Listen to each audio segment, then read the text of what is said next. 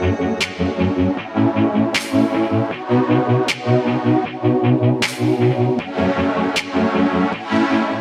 everybody.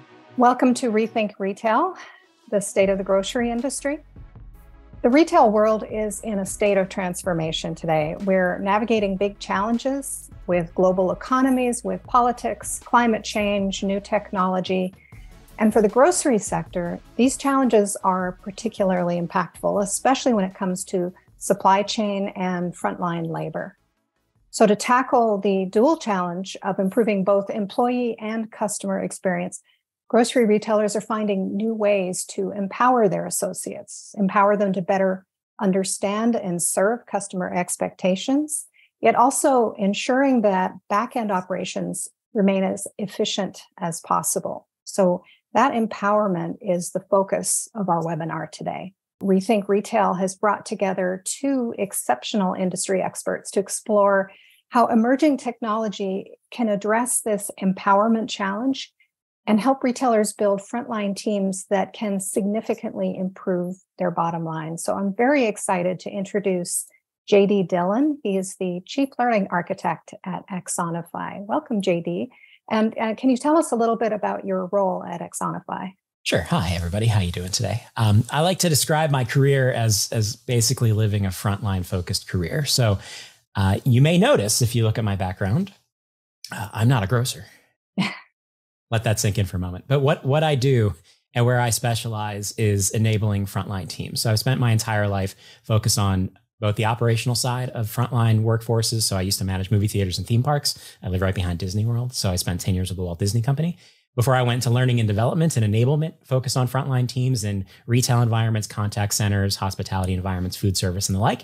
And then for the past seven years or so with Axonify, I've been working with my team to enable frontline workers in a wide variety of industries, inclusive of retail and grocery. So right now we have uh, the you know the, the, great experience of working with a couple of dozen different grocery retailers across the world, um, organizations like Kroger, Wakefern, Giant Eagle, Festival Foods, and the like. And uh, I've spent a lot of time for the past seven years. Uh, I'd say more than half of my site visits have been to grocery stores and a lot of time understanding the day to day realities of what it's like to run a grocery business, specifically what it's like to be an associate, a department manager, a store manager within these environments, and then what it takes to make sure people have the knowledge, skill, and capability necessary to bring your customer experience and your business results to life. So that's what I do today as Chief Learning Architect at Axonify.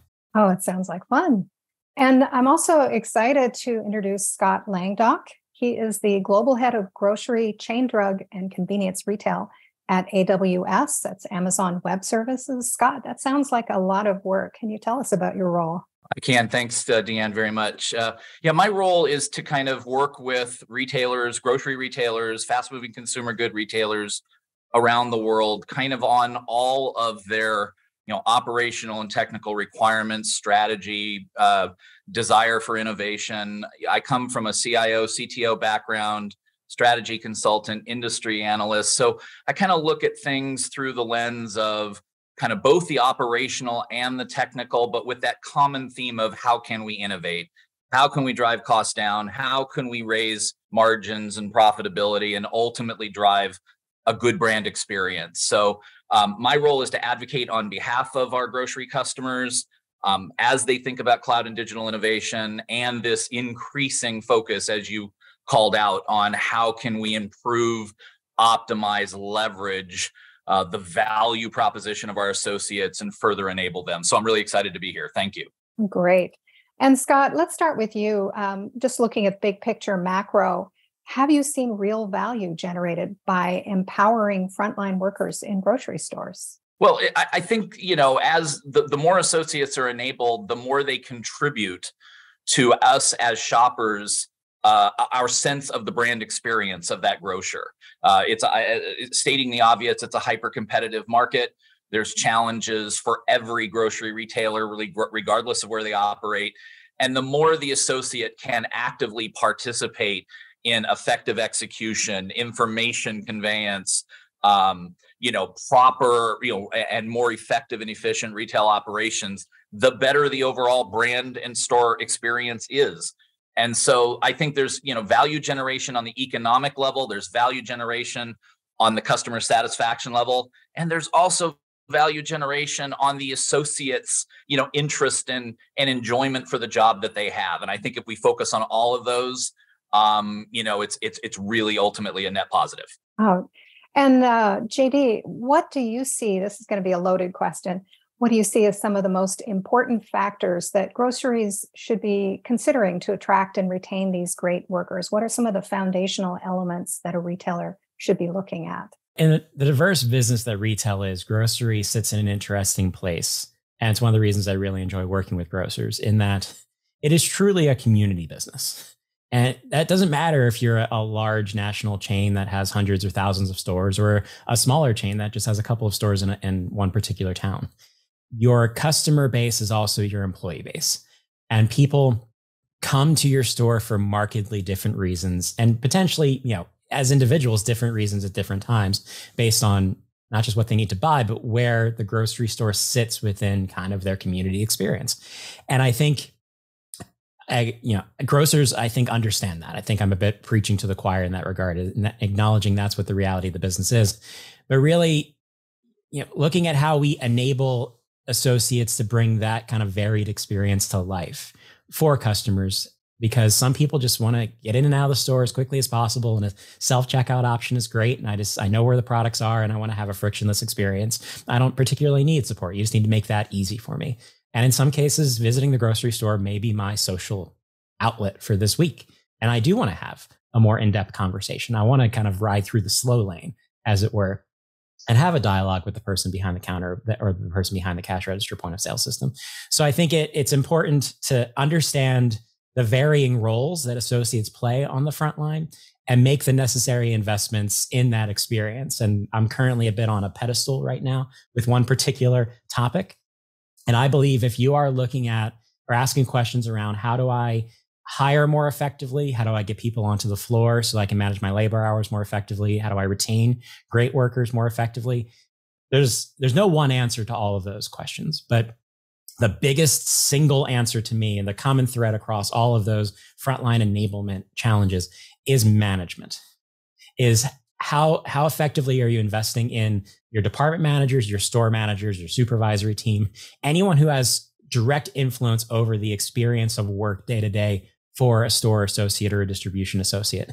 And i think for the last couple of years especially store managers and department managers have been heavily burdened right? They were heavily burdened just trying to keep the doors open, uh, dealing with changing demands from customers, um, dealing with staffing shortages and making up the difference, and you know working 78 hours a week just to keep their department running. And that kind of list of things that we're asking them to do has grown more and more. And on that list, but often getting buried underneath a lot of administrative work, is take care of your team right and cr- foster the type of community experience that is likely to retain people and all of the research that i've done in grocery and retail shows me that people are much more likely to stay for two reasons. One, they like the people they work with, and two, they trust their manager.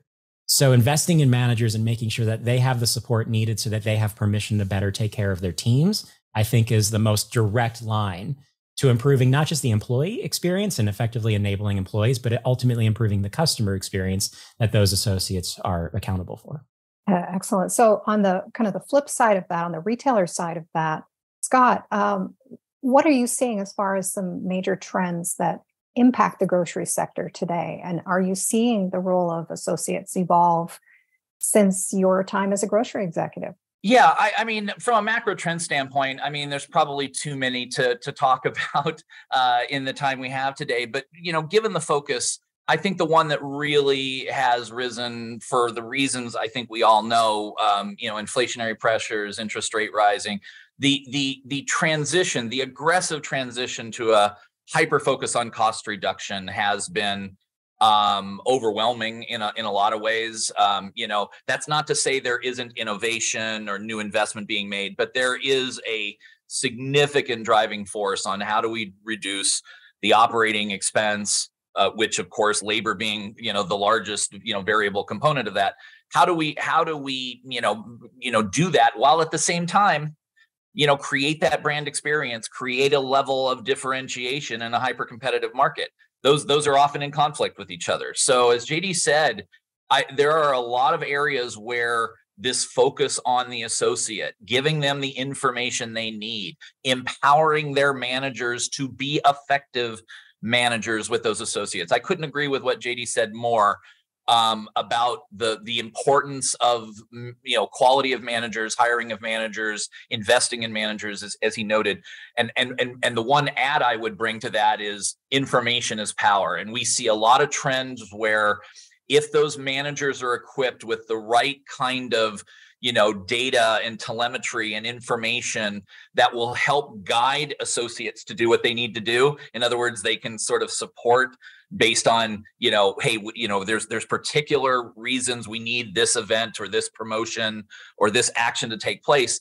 That helps the associate to understand the importance to understand the priority. So the more we can equip managers the more we can you know invest in them with you know the ability to sense and respond to things effectively um, that will contribute to that associate's uh, view of, of how they're being managed um, so that cost reduction thing how do we how do we become effective in execution?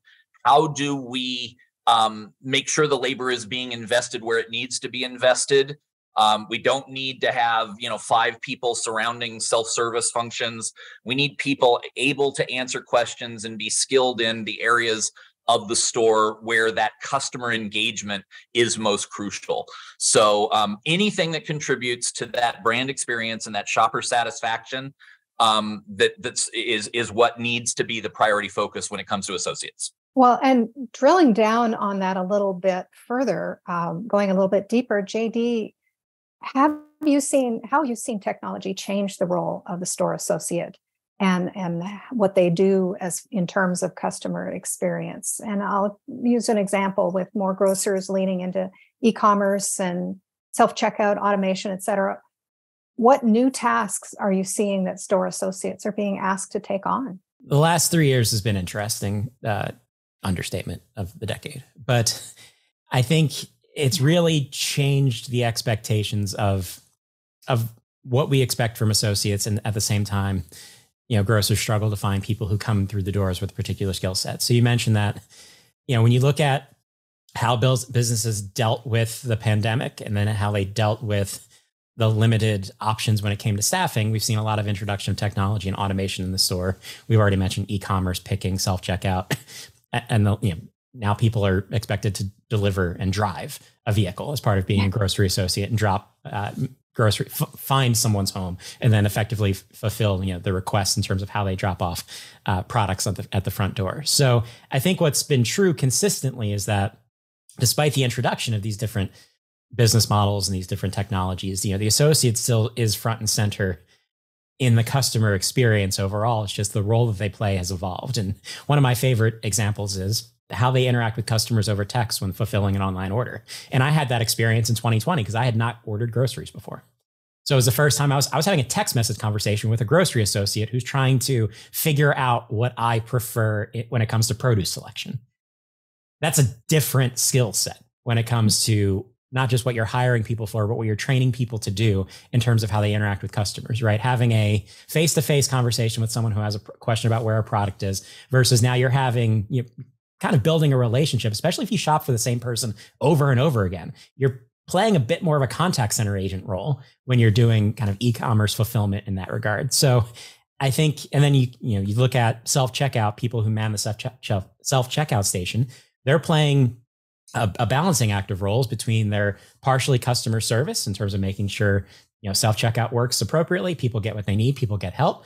They're also troubleshooting their technology, IT troubleshooting to a certain extent. Why is this machine not working? What are the common tricks in order to make sure I get that station back up and running? They're also playing a loss prevention role. And when it comes to the question you asked earlier around trends, I mean, the conversation I'm having more and more with retailers at large, inclusive of grocers, is conversations about workplace violence and organized retail crime.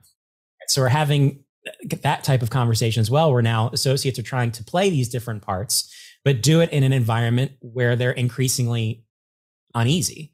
Uh, some of the research we did showed that 40% of grocery employees are scared to go to work right now just because of the circumstances they face. And more than 50% have witnessed a theft event take place in the past six months. So we're asking people to do different types of work in an increasingly challenging environment. And in a lot of cases, it's work that they haven't done before, even if they have spent some time in grocery. So I think that's where, as previously mentioned, there's an there needs to be an increased importance around making sure people get or have access to information, can can find the information they need to fulfill these different types of roles, not having to rely on my manager who's got a lot going on, or not just relying on the person next to me who may or may not know what's going on or may have started yesterday for all we know. And then also an increasing relevance to finding ways to upskill and continuously develop people so that not just can they do the core requirements of their jobs effectively and feel comfortable in their ability to make a good decision and be able to deal with the challenging situation, but also continue focus on upskilling your team so that you're building back bench strength that you might have lost over the past couple of years. So that you have the right candidates in place to be the next supervisor the next department manager the next store manager and the like because that's another conversation i've been having from a talent strategy perspective is you know what what has changed over the past couple of years as senior um, employees have retired or people have maybe moved on to different industries and used their transferable skills in different ways so there's a bit of a long game to be played but it really starts with making sure people have the the comfort level, the confidence, and the capability to do what's asked of them now in a more kind of diverse workplace and a more challenging workplace than we were even in just a couple of years ago. Wow. And just a follow up question for that, um, you got me thinking. Um, Self checkout is a great example. A lot of uh, grocery retailers are adding them in, some are taking them away um, it's really a changing and movable feast right now. What is the role of frontline staff in making sure that checkout experience is a positive one for the customer? And can this be balanced with the efficiencies of self checkout in a way that is cost effective and still supporting a good customer experience? Yeah, that's what I mean in terms of training our teams to make sure that they're capable of delivering the experience the customer needs at that time. So that's broader than making that's that's more than just being transactional in the way that we interact with people. It's it's recognizing that people come to the store for different reasons and we're trying to deliver an experience that's consistent with our brand promise and you know is is the reason to come back into the store and not go to a competitor or not just rely on delivery options that may be outside of your brand right? But understand you know making sure our, our people have the awareness and the skills necessary to engage in those different ways while also making smart decisions for for the you know operation. And yeah i think there's there's an it's an interesting conversation around self checkout now. As you said you yeah. see some brands leaning in some brands just outright saying we will never do it. And then some brands taking out where they maybe over rotated into that experience and then saw pushback from customers.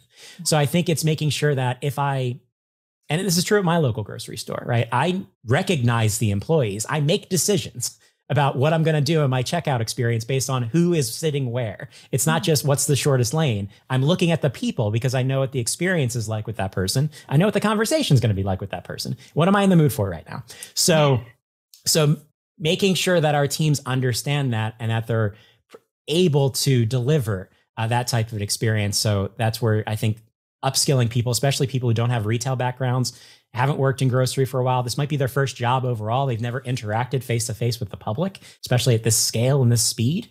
So helping them understand, you know, how do I, for lack of a better term, get into the head of the customer to say this person clearly just wants to get out of the store. We're going to have an efficient but polite interaction. We're just going to transact and we're done. This person might want to have a bit more of a conversation. So we're going to talk a little bit more about the weekend or, you know, what they're buying their, their groceries for, what type of meal they're preparing later today. So really helping people flex their kind of comfort level and that interaction um, while keeping certain things like safety and efficiency top of mind because you know those those don't go away despite what type of interaction you may be having with a customer. So that's a that's a more complicated skill set than i think most people think about it as being able to flex to the needs of the individual customer but it also what makes it an interesting challenge and an interesting environment in a grocery store. Yeah absolutely. An interesting job. Scott touching briefly on the customer side um, has the customer experience taken a big hit in the grocery sector today because of the labor challenges we've been talking about? And is technology able to help in improving the grocery shopper's experience? Well, I think we've been talking a little bit around this um, in, you know on, on a higher on a higher plane. I, I, think the answer is yes and no. Um, the the what what I see and what we see is the there, there's sort of you know leadership in the sector and then there's sort of laggards in the sector in terms of how they are are working to maximize optimize improve um you know that that associate driven uh, store experience brand experience uh, in the face of these labor challenges whether it's retention whether it's recruitment whether it's skill set.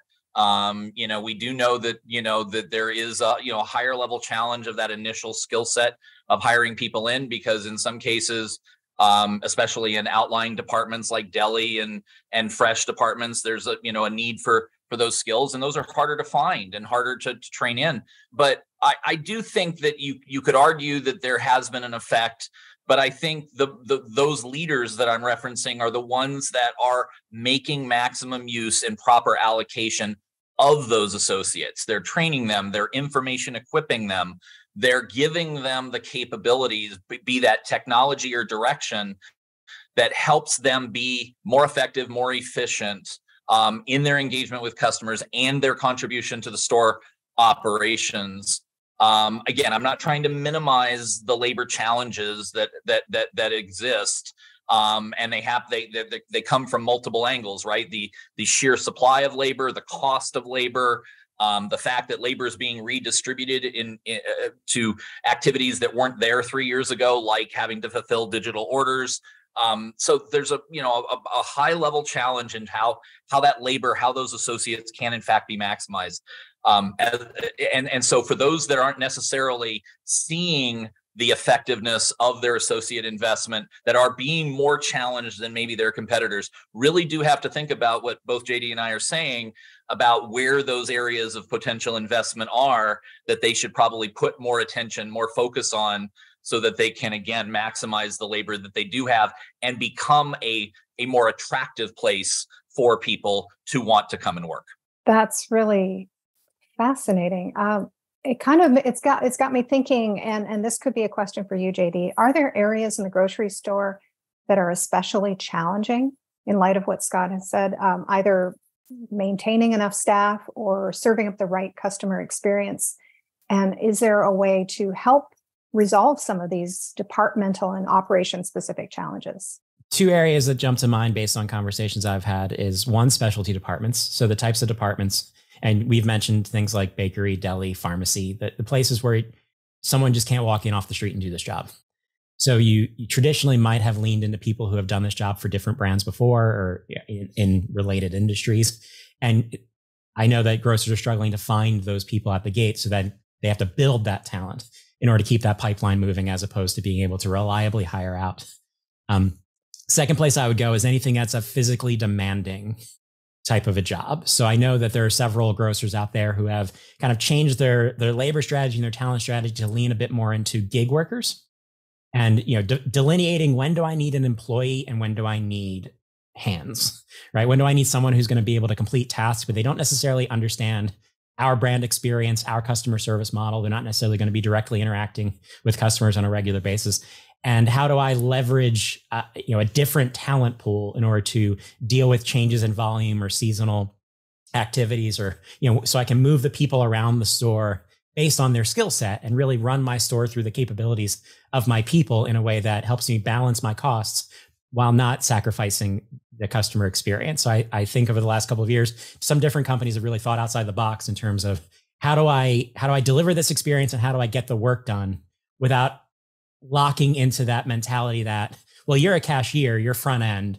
that's what you do or you you're a deli associate that's what you do and i think there's there's complexities within that an example being uh, you know unionized environments where you may not be able to cross train people into different functions because it actually repre- is represented by a different union. So someone who's behind the seafood counter may not be able to work on the front end as compared to someone who works in the deli uh, deli counter.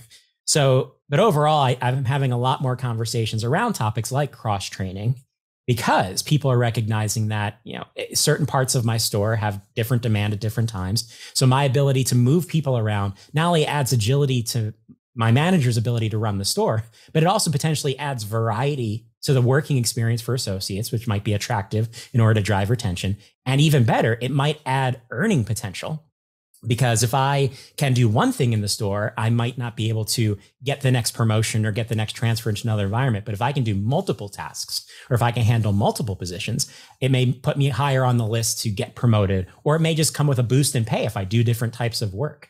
So it, it introduces a level of flexibility and variety into the associate experience, as well as adding agility to the operation. So I think, you know, it's important for, and I've seen success in organizations that take that step back and say, let's think more broadly about the employee experience and the kind of talent strategy we're applying within potentially different types of stores because you may operate uh, you know within a brand that the store formats are different. So the store associate requirements are different the skill requirements are different.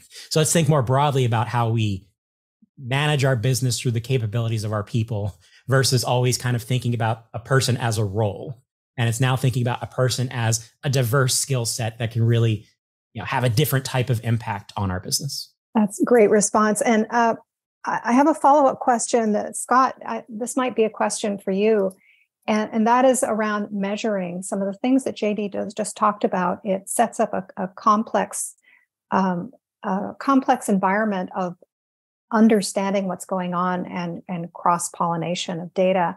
Are you seeing any um, anything coming from the companies that you're working with in terms of a struggle or a resolution around measuring and resolving um, you know do they do they have an expected set of results already? Are they are they still trying to figure out what to look at and, and how to put that data together to tell a meaningful story? Yeah i i mean i think that challenge has existed uh, you know for, for quite some time across the entirety of retail you know the effective and quantitative measurements of associate effectiveness associate productivity but I think the measures have eh, you know have changed you know over over time as I as I noted before you know there's there's a a, a more uh, you know subjective um, measurement criteria around that employee's contribution to the brand experience, customer satisfaction, things like that.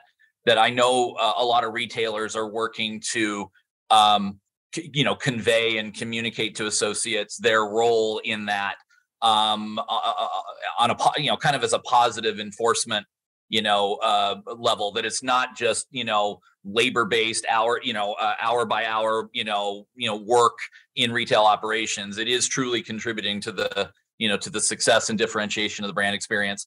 I think i think what and, and, and to make this uh, go in a slightly more you know technology enablement uh, uh realm what, what what we're what we're really seeing become helpful to this cause is um, the use of more um, efficient and capable task management systems, things that you know give more consistent guidance to associates about the things they you know can be doing that they, need to be doing on a regular, consistent basis.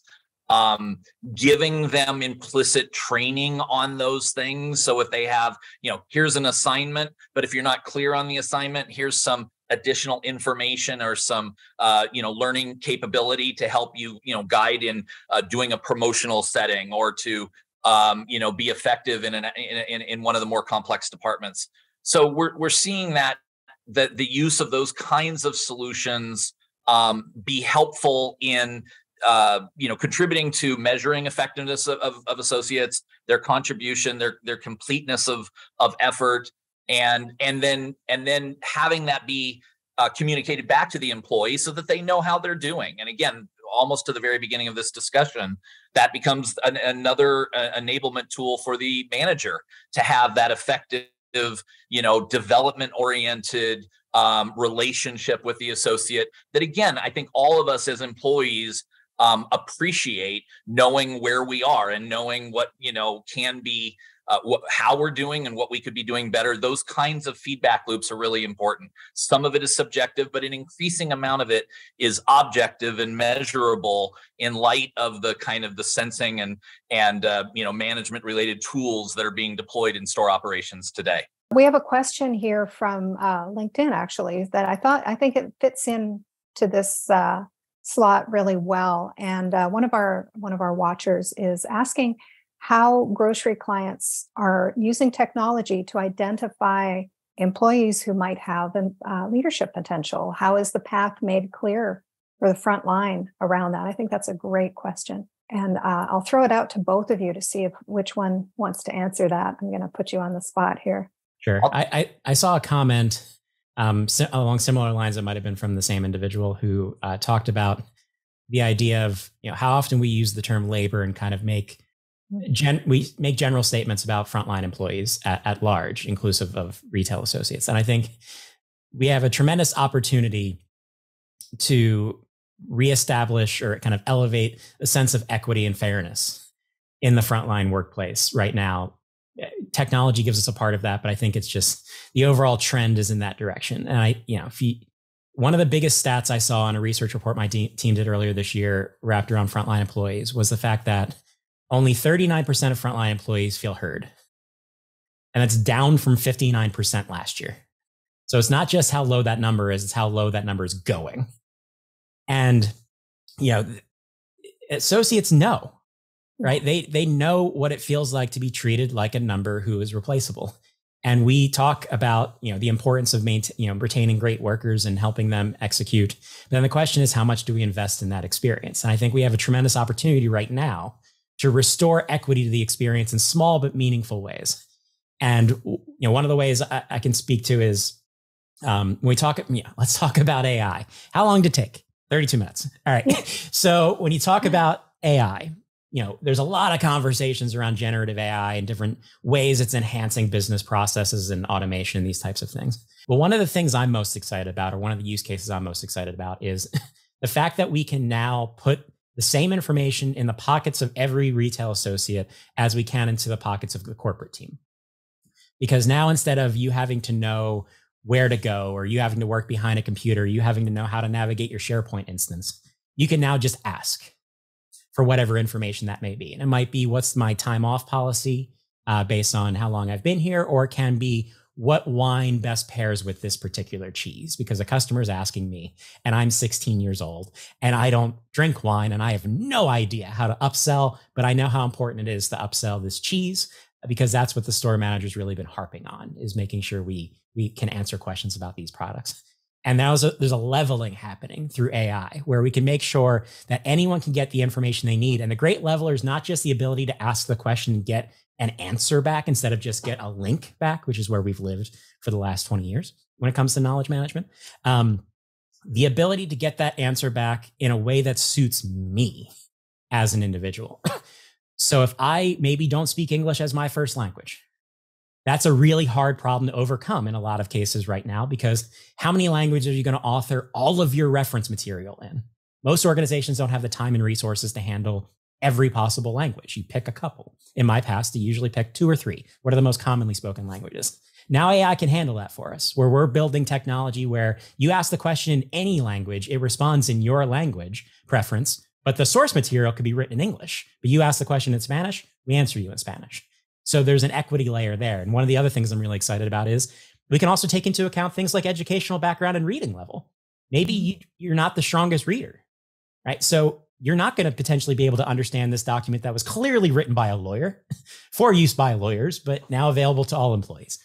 We can distill that information down into a more useful format based on your preferences or your background and your experience. So there's a great leveling happening right now through technology that I think is going to elevate the fairness that comes through within the frontline workplace. And the other thing I would add that more directly answers the question is also being able to use our understanding of the associate experience data associated to that experience to identify people who want to go further and maybe haven't thought about it before. Because some people may actively raise their hand and say, I am interested in a career.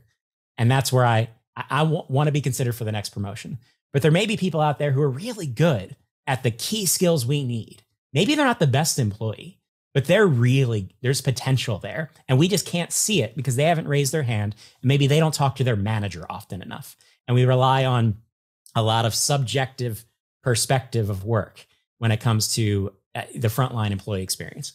so what we're hoping is that by having a better understanding of that ex- employee's experience day to day, you know, what they're learning, how their knowledge and behavior is changing over time, what their sentiment is, what they're potentially interested in, right? What types of learning activities they're jumping into because now they have more access to these types of opportunities. We can identify people who are subtly raising their hand, but not doing it in a way that your HR person or your your store manager may not have noticed. So I think we're we're at this moment now where we can really make work what individuals want it to be.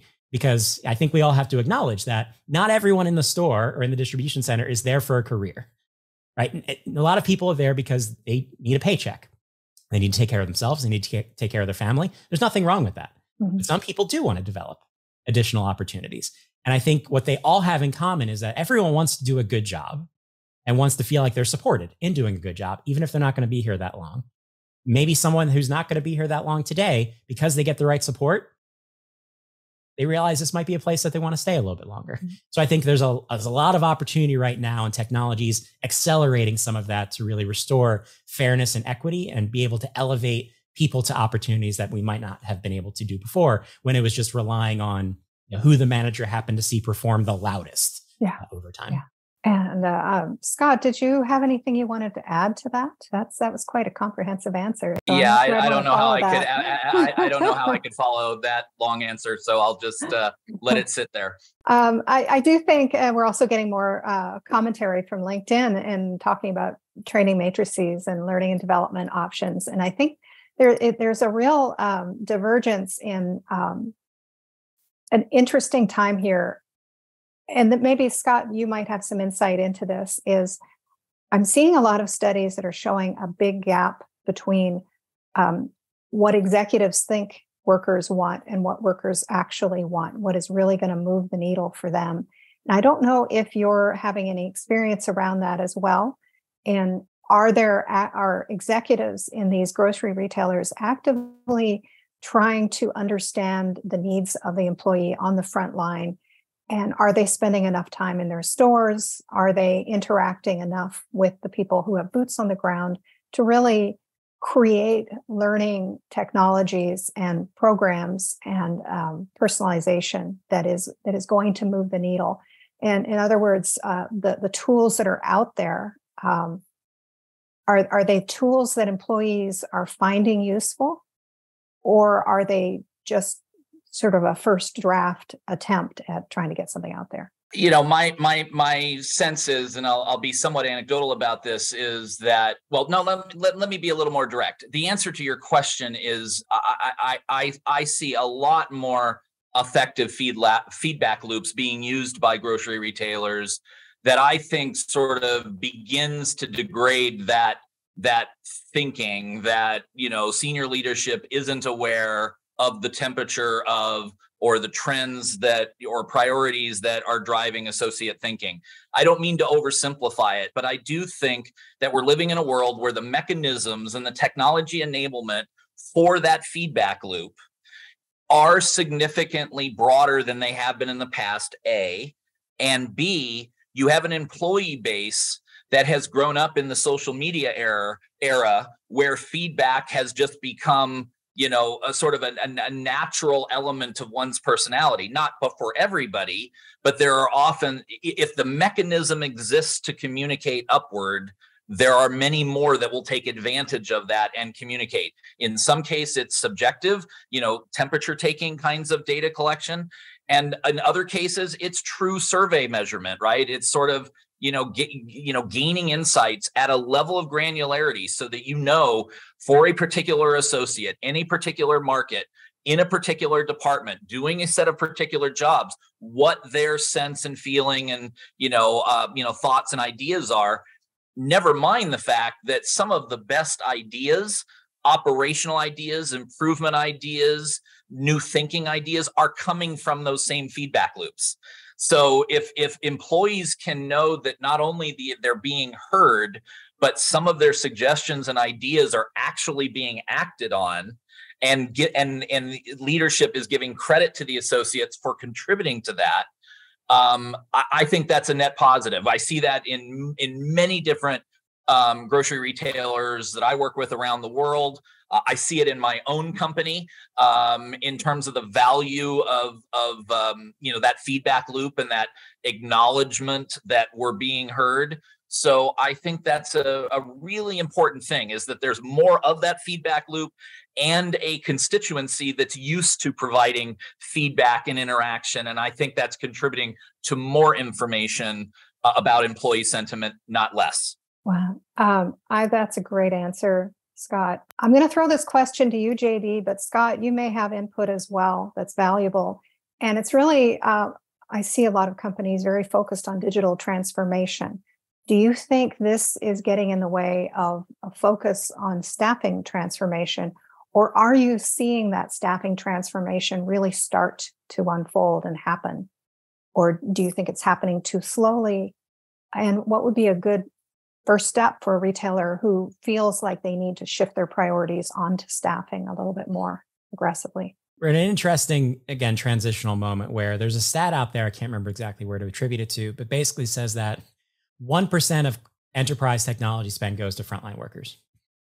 Now, that's not to say that you know there's a lot of technology that's in their hands being used on the job, whether it's uh, you know devices that they're using uh, to pick uh, online products, or we mentioned self checkout. Technology is a part of the experience of being a retail associate today. Um, but how much of that technology is built to better my experience as opposed to execute on corporate priority? And I think because of the last couple of years, there were some fundamental challenges and fundamental opportunities that arose. So in the beginning of 2020, uh, I talked to a lot of different retailers, and they were struggling with basic things like how does the corporate team send a message to the entire frontline team? Because traditionally, the answer is you send an email to some divisional layer of management, and then it filters its way down. Does it actually get there? Depends. and how quickly does it get there? Well, depends when the people are working.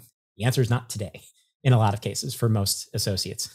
So there, there were struggles at that basic level of just how do I talk to my associates, yet alone how do we retrain people on how to interact with customers on new safety protocols and these types of ideas. But simultaneously, there was an opportunity happening. So in 2018, I had a conversation with the CIO of a grocery chain in the Northeast. We were talking about bring your own device. And they were talking about how they wish that they could do, yeah. right? They saw the opportunity. They know everyone's carrying a phone. Not everybody, but a, a huge chunk of their workforce is carrying a phone. It's a great device, but red tape, dot, dot, dot. That vanished in the last couple of years, where we're now having less bring your own device conversations. We're having a lot of choose your own device conversations. Because the, again, reality is that not everyone has a smartphone. Not everyone wants to use their smartphone for work or, you know, in whatever environment they're in and may not be able to use that type of device. But there are a lot of different screens now that didn't exist three years ago inside of a retail environment, whether it be a Zebra device, uh, a large touchscreen that's on the back of the deli scale, uh, the point of sale system, right? We went from a world where we were literally time wa- uh, stop watching people to see how long it took them to get from their apartment to the one computer in the back of the store and then back with the information that they were looking for to a world where we now have a bevy of devices and it's how do we make sure that our technology, our content, our information, our overall strategy maximizes that access point because it now it's it's a better situation than we've previously been in. So I think there's there's a tremendous opportunity when it comes to kind of the digital transformation of the workplace and of the operation to leverage and kind of ride on the coattails of some of that transformation to say how are we using those same tools to improve the experience of what it's like to work here?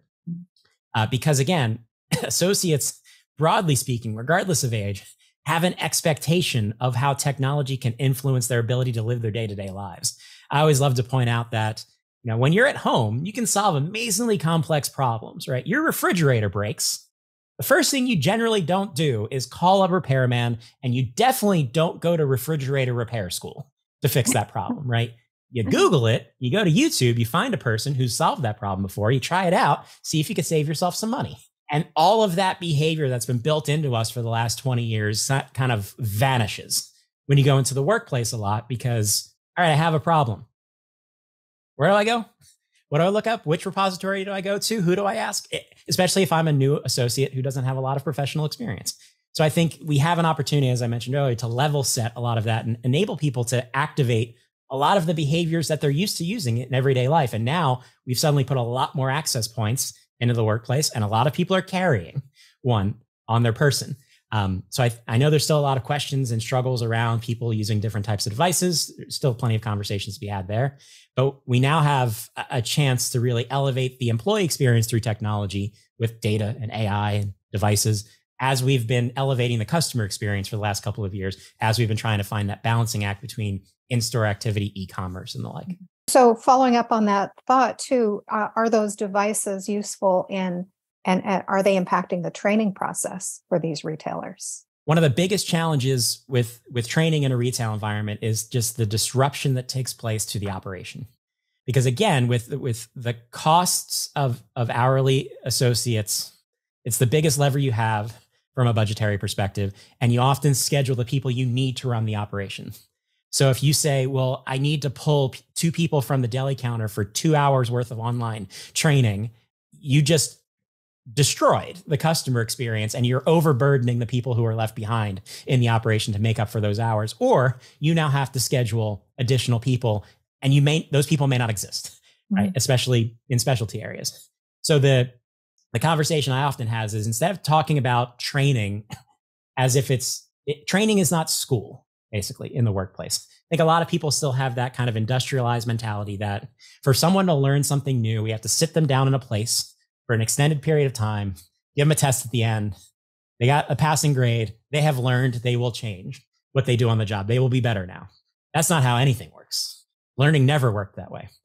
So, what we try to do is instead of thinking about learning in terms of courses, we think about learning in terms of minutes, specifically five minutes a day, right? Because every associate, even in the busiest environment, there is five minutes that we can find to carve out in that day to focus on your development.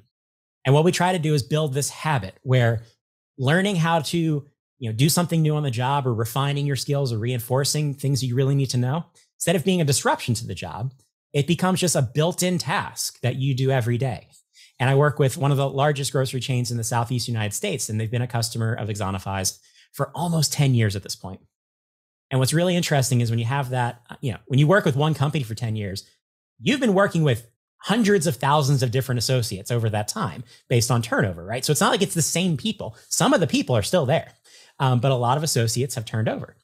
And they've been able to maintain a 98% engagement level in training. And by engagement, I mean 98% of their associates, pretty much every shift, log in to do a couple of minutes of training.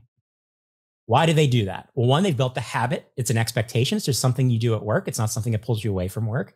And two, they've used their data to personalize that experience so that when you log in for your couple of minutes of training today, it is something for you. It's something you're struggling with or something that's new to you. Whereas the other person who works on the front end logs in to do their training today, same job, it's something different because mm-hmm. it's what they're struggling with or what they're focused on, what they're trying to achieve. So I think again, we have this this opportunity to elevate the learning and development experience for uh, grocery associates based on there's now more access points device wise, um, more data, more ability to personalize, and then more ability to blend. That's the last thing I'll comment is that you know recognizing that learning what is the most uh, desired training meth- uh, method that frontline associates ask for? It's hands-on training. Right? It's not digital training. It's someone helping me learn how to do the job because I'm doing it in real life. So we can blend that experience to make sure we're guiding people to work through those uh, on the job experiences, but give them that foundational knowledge and then reinforce that through digital means. So we can create an overall better and more supportive experience by taking advantage of how you know technology has evolved and our capabilities through data and AI have evolved even over the last couple of years. Scott, just following up on that, um, you're working with a lot of different industry sectors, convenience retail, pharmacy.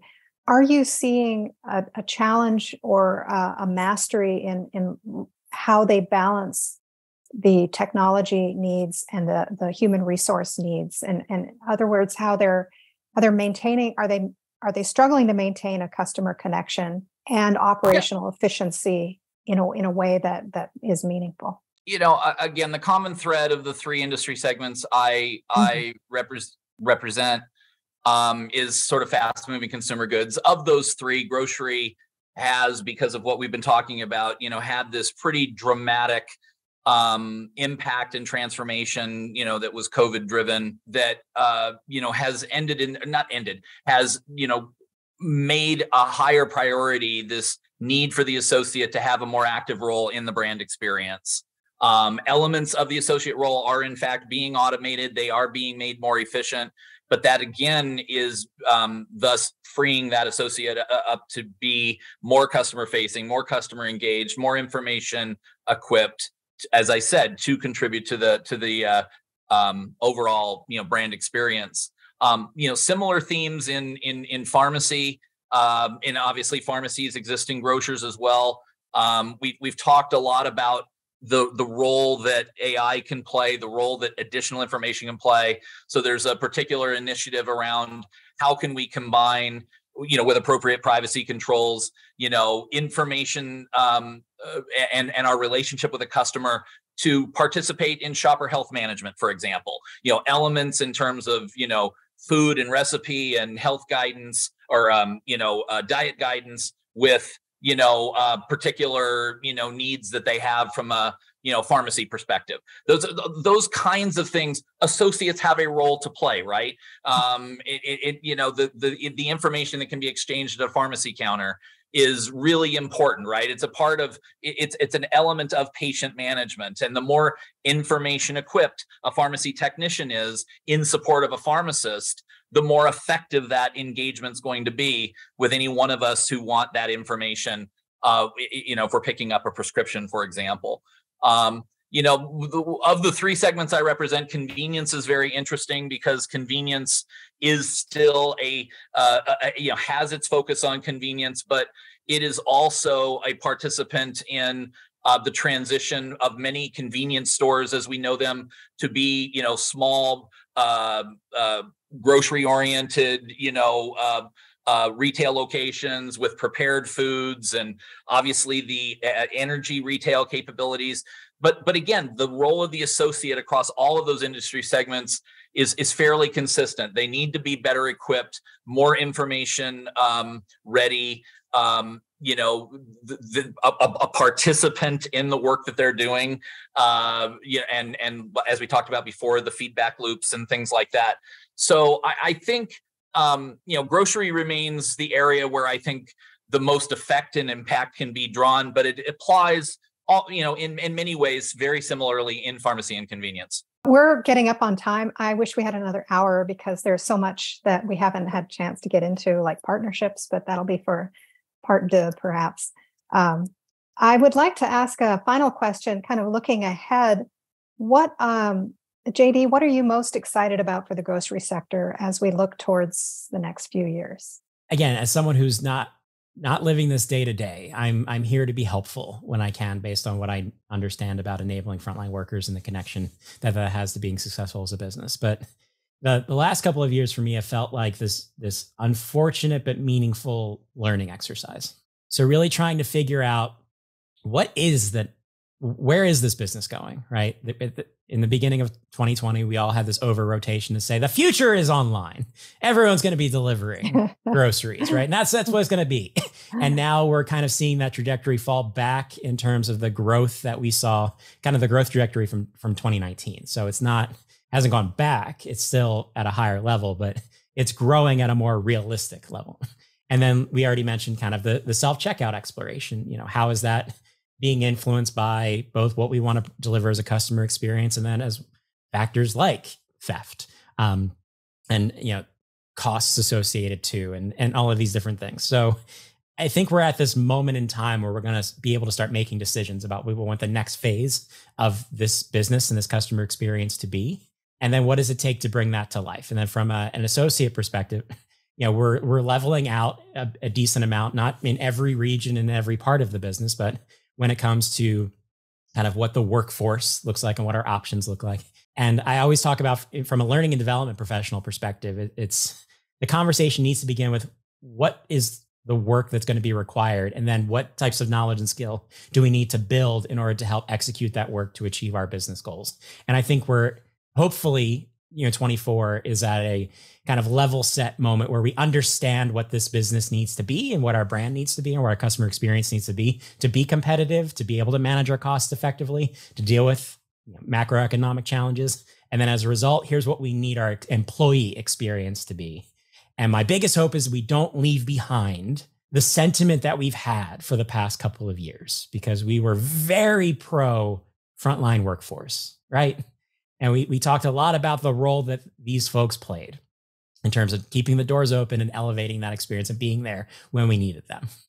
Hopefully, we maintain that sentiment, obviously at a realistic level, but we it doesn't take much right? It's small but meaningful improvements, removing key points of friction, making sure people work in an environment that they f- feel as safe as possible, that they enjoy, they can trust the people they work with, trust the manager, that they're going to do right by them, and that they have a chance to do their best when they come in and clock in for every shift. So hopefully we can keep that front of mind and not slide back into some habits that I think we've seen in the past where associates know that they're being treated as if they're replaceable yeah. and they'll they'll walk, especially if they have an opportunity to make 25 cents more down the street, they'll walk. And hopefully you recognize the impact that can have on our business. And Scott, the last word goes to you. Same yeah, question? I have a, a, fairly strong opinion about this. Um, and, and, and, you know, and it matches up uh, with with something I said earlier about what I see in in grocery or retail leaders versus those that are are really struggling. Those that are focusing on three things um, and and understanding the linkage between these three things uh, are, are the ones that are on the leadership side of, of my equation. And that is, we've talked about all of them transforming the customer experience, expanding the availability of insights and the ability to sense and respond. And third, you know, optimizing retail operations. The discussion today about associate empowerment, associate enablement impacts all three of those areas. And so while there are many other technology uh, and, and cloud and digital innovations that are affecting each one of those areas of focus and strategy independently, there is that common thread, um, as JD outlined a number of times, that if we maintain focus on, if we continue to actively invest in the associates that still, regardless of the amount of automation that we deploy in retail, are still a major contributor and component of the customer engagement, customer facing activity that any retailer has in their brand experience. That will be a retailer that is succeeding and is differentiating in this market. So we cannot uh, um, ignore how crucial the associate is across all of those three areas of retail focus. That's great. Thank you very much. Thank you, everyone who was watching this uh, Rethink Retail webinar. Um, if you'd like to follow JD Dillon or Scott Langdoc on LinkedIn, they are uh, experts in their field and we'll have a lot to say. So, um, thank you very much, and uh, we'll see you later.